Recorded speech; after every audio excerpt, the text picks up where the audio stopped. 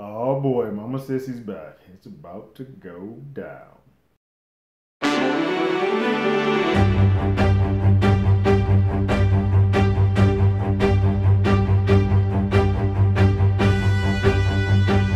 Hello, everyone. Terrence Joe Hollywood already did it. If you haven't already, go ahead, like, share, subscribe to the channel, ring that bell below. Anytime we have something, you will be among the first to know. This episode is called Revelations. Uh, this one's interesting in that, for the most part, Franklin and V sort of take a side story. They're kind of on the background for the majority of this. They're still players in this, but they're more so discussing their future. What we get in this mostly is Cissy. Mama's back in full force. And we open this episode with her coming back home for the first time, seeing that her home's occupied. Um, she starts having flashbacks of the first time that she moved in, having flashbacks with Alton, and it's still very unclear at the very beginning of this if she knows what happens to Alton or what, what's going on. But she seems to be playing like I'm just happy to be back home. She doesn't seem to have an ulterior motive. But we come to find out in this episode, she's got an ulterior motive. She makes her way back home and sort of just start getting the lay of the land of her home. Uh, while that's happening, Crash uh, is happening on the gangs of LA. Like I said on previous episodes of this, the world is starting to close in around them because of the Len Bias stuff and all of that stuff. The drugs, they're coming in hard. So LA has created this gang task force called Crash, um, which I didn't know until I really looked it up. But it's Communities Against Street Hoodlums, um, and that's gang task force specifically spec for that. And they have a raid on Leon and the in the in the projects, and sick, they sick dogs on them. It gets grimy. But the lead person who's responsible for that is the cop that Louie believes is on the payroll, who has sort of been paid to protect. It's sort of um, tit for tat, him showing where who has the ranking or who's the real power player between the two of them. Sort of a, it's definitely a power move. He winks at, at Jerome, who happens to be at the project at the time because he's sort of chasing down this kid who's been making this music that's sort of actually telling stories that it's, snitching. It's, it's snitching. Oh, it's some great beats, but it's snitching. Jerome seems to be impressed with the kid, but uh, it is definitely some snitching that is going on there, and that's how he happens to be there. But there's definitely a power play that is being in, in place, and Louie has to check her her, her her contact or connect with the police. So they have sort of a meeting together. The family all comes together. Uh, v, Franklin, Jerome, Louie, and Leon all sort of get together to have a conversation about the bust that sort of took place at uh, in the projects. And Leon's not taking this well. He is pissed. He's ready to grab every gun that he possibly can and fight back. He's he's on his Malcolm X uh, type of they, they come after us, we don't come after them with rocket launchers and everything. We prepared. He's ready to ready to start full on gang warfare. We're warfare. And Frank was like, hold on. You want to go to war the police? Let's go. Let's get a little bit easy on that. Let's not quite do that.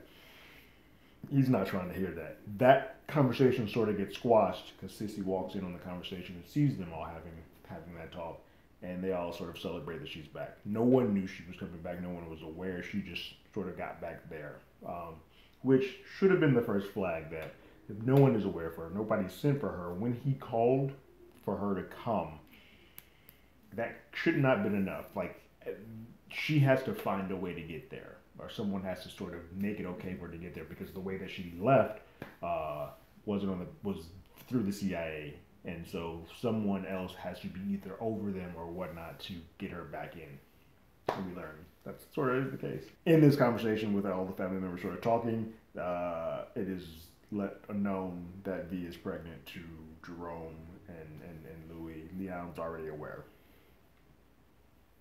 Jerome's happy. He's ecstatic. Oh, my nephew gonna be a daddy. Uh, Louie is, is, is happy too. She's sort of surprised, uh, but she still has her qualms with Franklin and the way that Teddy. Basically, uh, everyone thinks that Teddy is taking Alton off the board, and she's like, "We were still in bed with this person." But Franklin's like, "Yo, get your man, get your your police officer you, you thought you had in the back pocket." Louie goes to have a conversation with him. He ain't really hearing it. He blows her off, and it's like, yeah, next time I tell you to do something, you do it. Like it's not you don't tell me what to do, and it's you know they're gonna end up wiping this dude off the board. Like he's gonna get taken off the board, and it's going to probably cause a problem because we start killing police officers. That wall is going to crush down even even more. Franklin wants to throw a party, uh, like a sort of dinner with with the family, the, the, the main heads of the family, to sort of have a conversation. But before that, Franklin meets with Teddy, uh, just to kind of be like, "Hey, crash is coming down on us. Like they are tightening up ranks. Can you do anything? You need to close this up, get them off our back." And he's like, "What the hell do you expect me to do?" I mean, it's like you did it before. You got LA off the cops off of our back before. He's like, "But that was before your damn daddy started talking." So it's already that thing where Franklin's like, "Hmm." Once again, you keep bringing up my dad's name. Hold on, sir. Um, but there's nothing he can really do in this moment. And in that, probably becomes the most poignant moment of this entire season so far. And it, he's not wrong. Teddy's like, look, they're not going to come. They don't have you by name. They're not coming down on you. Insulate yourself. Tighten up your family. Get get the people you really care about. But who cares about the few riffraff that they, they, they collect that they get? It's not affecting you or the bottom line. And plus, they're not coming after you. You're not effing up or destroying white people's neighborhoods, which is why I think that Valley death is going to come back in. Somebody's going to start complaining, like, hey, this stuff is starting to get into our kids.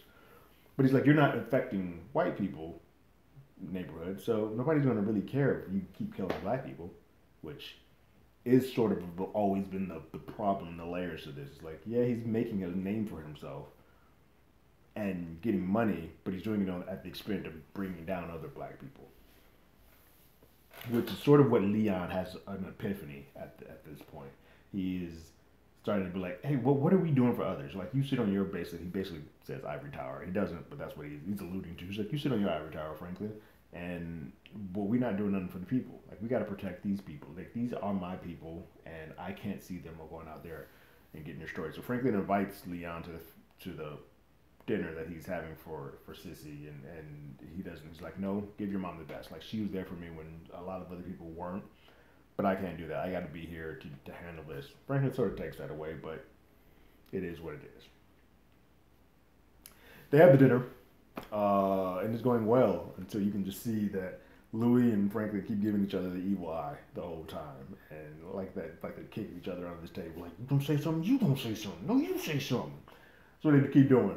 Um, and Cissy's not an idiot. She's aware. She sees it. She's like, hey, what's going on? Frank, uh, uh, Louie like, you better tell her. You, you can keep her in the dark. That's when Franklin tells her that, you know, Teddy is, Teddy is back. Um, and she is uh, upset. More so upset that Franklin just wasn't honest. Just be open.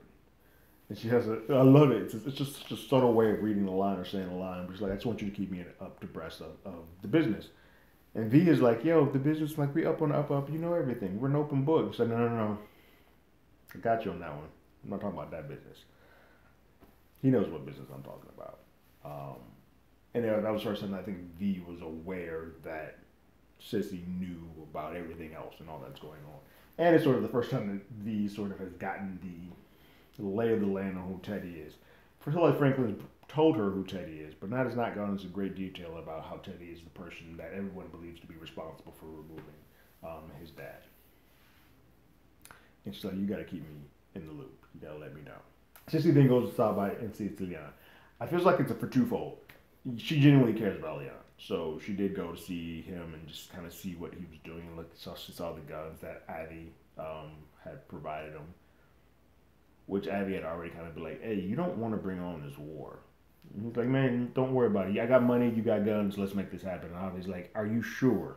Because if you do this, it's going to start, it's going to open up a can of worms for you. And you may stand up and hit somebody and, and kill one police officer. And Leon's like, yeah, if I kill one, then I've done something else. Like, yeah, but if you kill one, you know the shitstorm that's going to come for everybody else that's in your community. You're not really helping them out you didn't want to hear from him. He seems to be listening a little bit more to Cissy um, in a bit, but I still feel like Leon's so he's already got the dog, the teeth in the bone that he's he's going.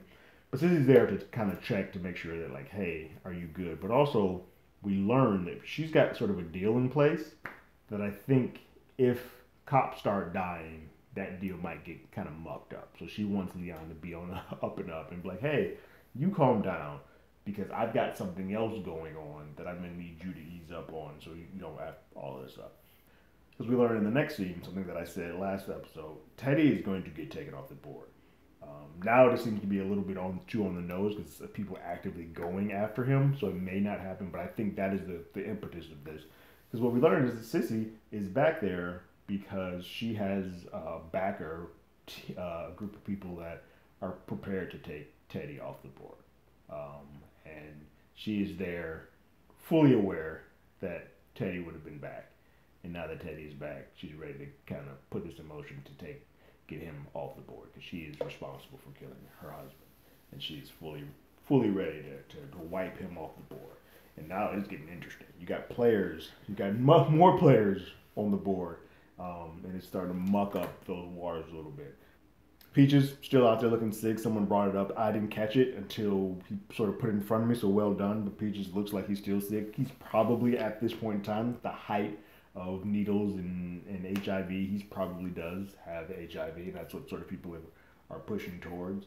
Um, I do think that the Jerome being between Franklin and Louie, something's going to happen to what the family is so tight knit that one of those family members is going to go is, is going to be gone. I think the one that would hit story wise the most is, is Louie because it would affect Jerome and how he would feel towards Franklin and and Cissy um, and it would also affect Franklin because this uh, Louie was the first person that sort of backed him up in all of this. So I think with her one to one with the crooked cop, I don't think that's going to end well for her. And I think he may be the one that eventually ends up taking her out, and it sort of messes up the whole thing uh, for everybody. That family sort of falls apart from the inside because it's already started. The foundation started already there. Leon is off the races and doing his own thing already. And I think trying to keep him in line while Cissy runs this plan of trying to take Teddy off the board is going to be uh, going to be where those two the, those two immovable objects go head to head, um, and it's it's to come to a pretty pretty exciting and nasty end. There's just a hint of it, and I'm sure it's to be it's going to probably come up. Seems like Jerome is trying to get find a legit business of his own, and uh, take on the music industry and like I'll be a producer. I think the one thing that sort of hit me the most in this episode was Jerome and Louie. When Jerome asked Louie, like, hey, yo, can you come to the family dinner with me? And Louie like, nah, I want to sit here. I'm tired. I'm tired. I don't want to deal with nothing. Ain't got nothing to do with Franklin. I just want to watch these white people do some crazy, stupid shit so I can just get my mind right. And Jerome's just like, hey, you can't do this for me.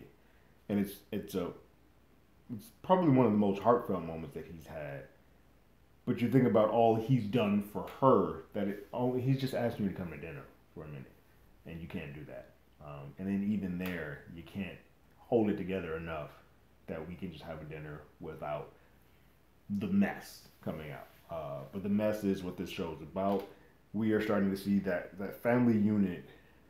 I think the issue with the family unit and why they are still tight knit, but because they are at different levels in this family, that's when the deception and the untrust and you're not listening to me, you're not listening to my ideas, that all sort of comes together, and that's why this this such damn good television. Um, Revolution's a really good episode.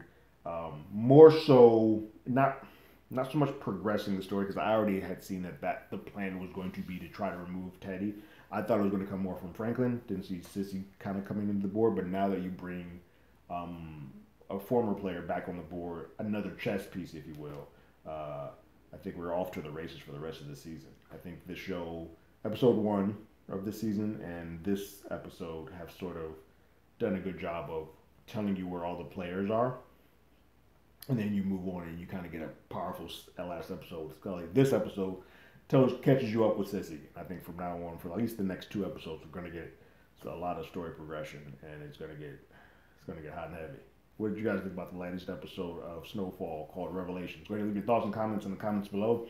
If you haven't already, you can follow us on Twitter at HollywoodADI. You can hit us up on email at HollywoodAlreadyDidIt at gmail.com. We also have a podcast with the same name that's on Google Podcasts, Spotify, Apple Podcasts, anywhere that plays podcasts. We're there. And like always, I got my ticket. You got yours.